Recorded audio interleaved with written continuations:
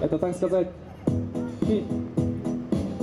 хит 16 года. Модное веяние превратилось в благотворительную акцию. Девушки в белоснежных платьях застыли в манекен-челлендж. Невесты на несколько минут превратились в неподвижные статуи. Благотворительный парад невест одновременно осуществил мечты 15 девушек, мечтающих примерить свадебный наряд, и ребят из детского дома. На собранные средства организаторы устроят для них веселый праздник.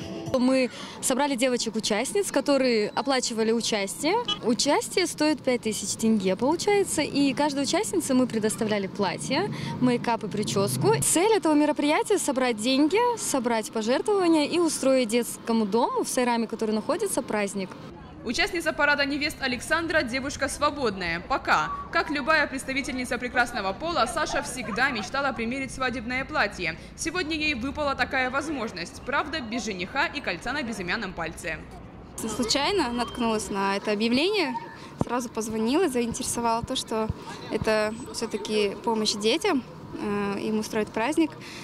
Сразу как-то вдохновилась этим и ни разу не была еще невестой и решила примерить на себя этот образ. Даже идешь по городу, и люди оборачиваются, и появляется что ли какая-то радость, и э, приносишь людям добро, Невестами в шикарных нарядах шимкенцы любовались, с ними фотографировались. Мужчины одаривали милых девушек комплиментами. Поедем в вечера.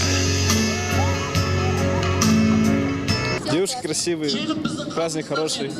Здесь невеста участвует сама. Дети э, из детских домов, безусловно, нуждаются в праздниках. И все деньги собираются им. Я считаю, что такие мероприятия должны почаще проходить.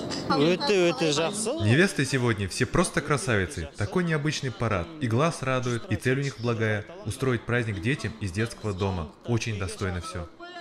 Парад невест завершился шествием красавиц. Они прошли от площади Аль-Фараби до развлекательного центра Мегапланет. Даже вечно спешащие водители сегодня в изумлении останавливались, уступая дорогу красавицам.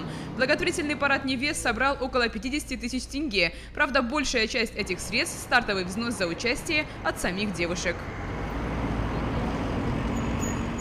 Анастасия Новикова, Марат Давлетов, Дильшат Адашев. Информационная служба телекомпании «Утрар».